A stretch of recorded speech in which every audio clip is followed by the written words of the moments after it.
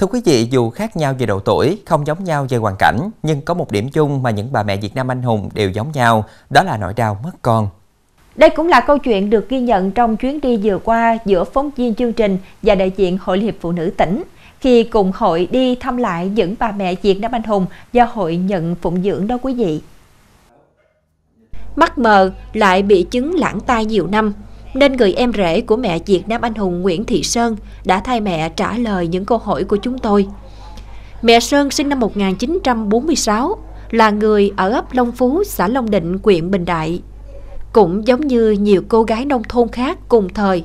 Năm 19 tuổi, mẹ Sơn được gia đình dựng vợ gả chồng và một năm sau đó, người con trai đầu lòng của mẹ là anh Lê Văn Dũng chào đời.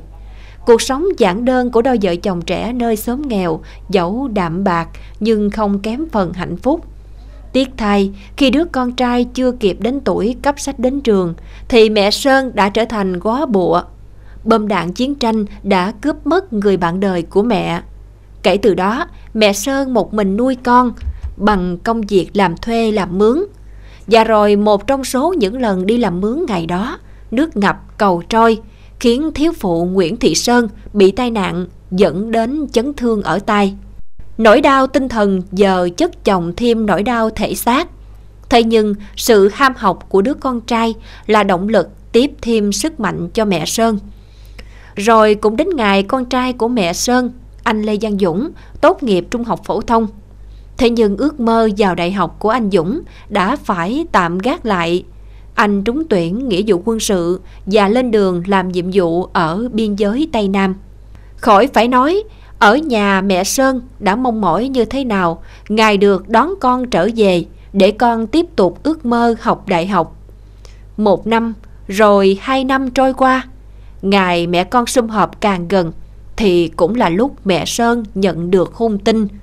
Người con trai độc nhất của mẹ đã hy sinh vốn bản thân có bệnh sẵn, giờ lại thêm cú sốc quá lớn, khiến mẹ gần như suy sụp hoàn toàn.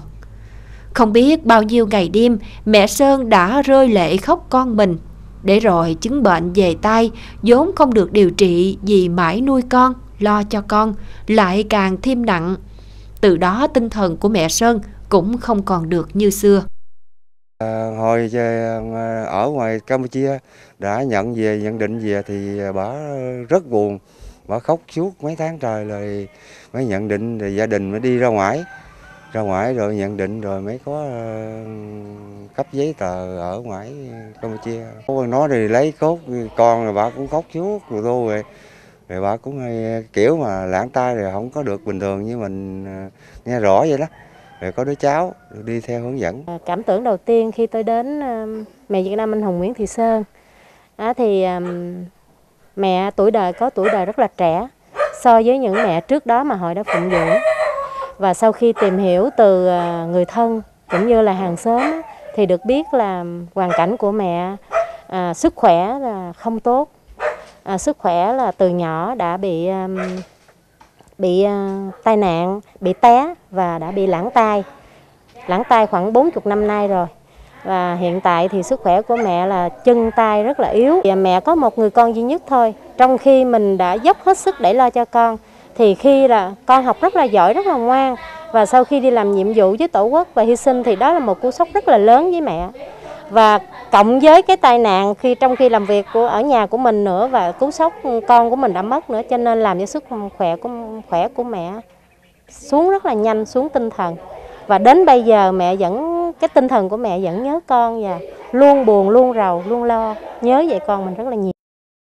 Cuộc sống ngày nay đang ngày càng thay đổi theo hướng văn minh hơn, hiện đại hơn. Nhưng những người mẹ như mẹ Sơn mãi mãi không gặp lại người con trai thân yêu nhất của mình sự cống hiến hy sinh của các anh hùng liệt sĩ trong cuộc kháng chiến bảo vệ tổ quốc, giành độc lập cho dân tộc to lớn bao nhiêu, thì nỗi đau và sự hy sinh thầm lặng của các mẹ cũng lớn lao bấy nhiêu.